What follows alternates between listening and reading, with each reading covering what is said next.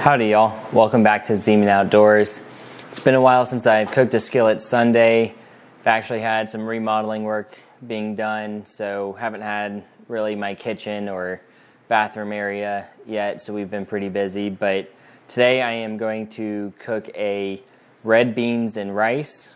And so for this, I am actually going to be using a Dutch oven that I have back here and you will need some sausage and I have some venison sausage here and I went ahead and already cut up some onions, a bell pepper, and two ribs of celery. You'll need some chicken stock, three cans of red beans, some tomato paste. You'll need some salt, pepper, Cajun seasoning, a bay leaf or two, some garlic, some vegetable oil, a little bit of your favorite hot sauce, and then some basmati rice. So, with that being said, we're gonna go ahead and get the rice in the pot, and I will start sauteing the meat so that we can get this going. So, you wanna go ahead and start cooking your rice.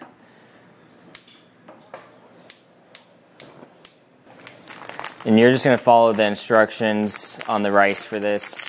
I'm cooking one cup of rice here, which should make about three total cups. You'll go ahead and add a tablespoon or two of vegetable oil to your Dutch oven and heat that over a medium high heat. Once your oil is hot, you can start cooking your sausage. And you just want to put enough in there at a time to get a layer at the bottom, so you may have to cook this in batches.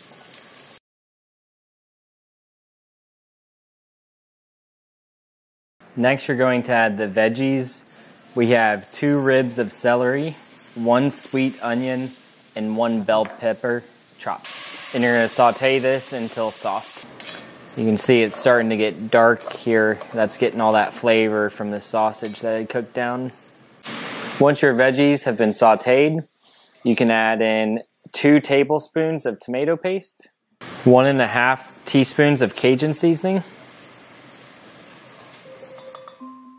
And then two teaspoons or about three cloves of minced garlic.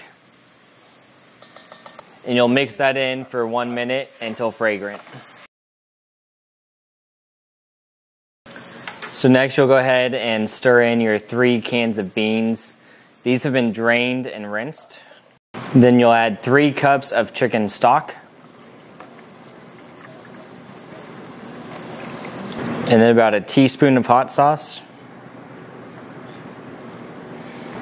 Then you can add in a bay leaf. And you can add your sausage back in now as well. Go ahead and stir that together.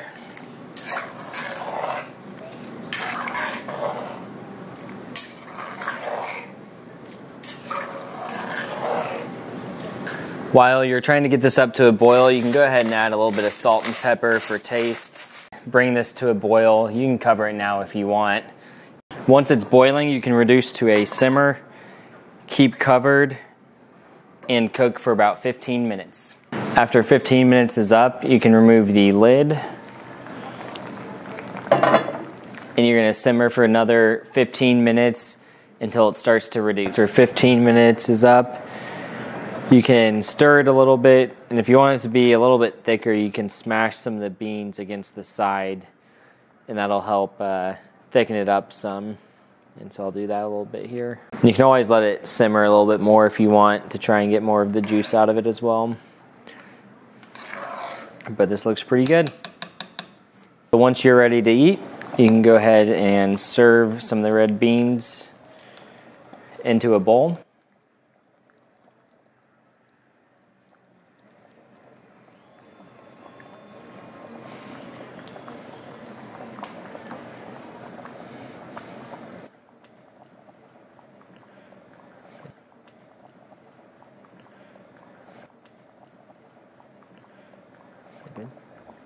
Once it's served, you can go ahead and enjoy. Thanks for joining us on Skillet Sundays.